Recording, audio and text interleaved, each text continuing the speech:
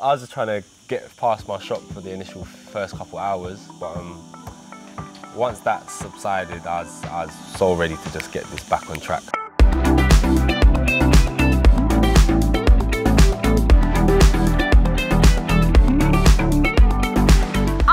Villa has just been amazing. I think we've been on such a journey. It's been a magical experience, ups and downs, and yeah, I'm very grateful for everything that's happened. My time in the villa personally was very interesting.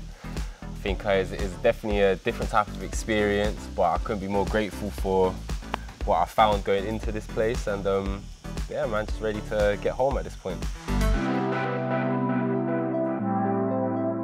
First time I saw Zach walk in, I thought he was very good looking. I loved how like you had your cheeky smile, you were very cool, and then your funky shirt. You made like an entrance, and I thought you were very good looking, but I just never thought this would happen.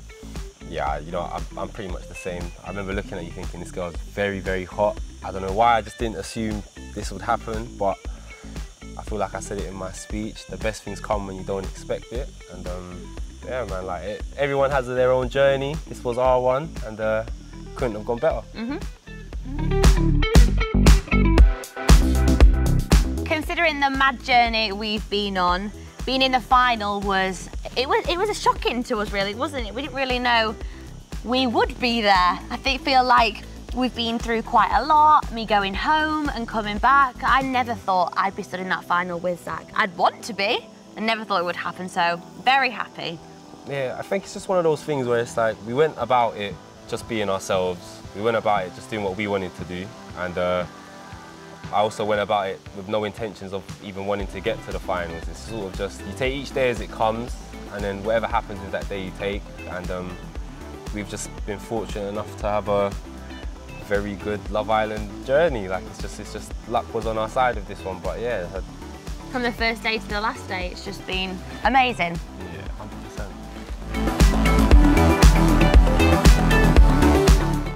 was trying to get past my shock for the initial first couple hours, but um, once that subsided, I was, I was so ready to just get this back on track. The final date for me was the best day of my life, never mind in the villa. I absolutely loved it. It was perfect. Obviously, we said love you, so it was literally the best date ever for me. How did you find the pink party? you know, you know what? Um, wasn't really my cup of tea, uh, but I think, as you said, it was your perfect date. Being able to experience that with you and do that with you is, yeah, that's all worth it in itself. you? I mean, I've got to rate Zach. Zach was my favourite. I backed you to win. Very talented. I loved it. You- You're my winner for the talent show. That's I'm not just cliche. Promise. Aw, I say my favourite, my favourite talent was um, I'm gonna have babe, sorry, I'm gonna have to say Lochan. Watching that guy whisk that Wisby. Wisby. was uh, spectacular, and he, he he made he made frisbee look cool. So Yeah. um, I have to say Lochan on that one.